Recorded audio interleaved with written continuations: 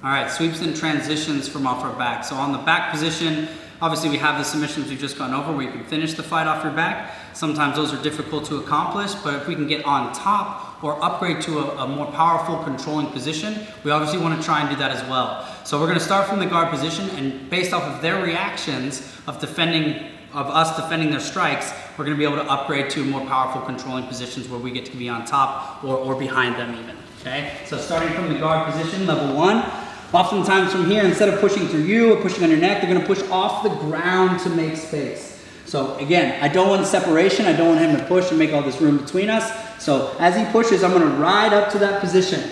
I'm gonna keep my chest nice and close from here. I'm gonna put my elbow behind me, and then I'm gonna grab his arm, keeping my head away from any strikes and hugging this arm nice and tight. I'm gonna post up nice and tall in my hand position, plant my feet on the ground and point my knee to the mat. As I do this, I'm gonna drive my hips up, shifting his weight over his base leg until I end up in the mount position here.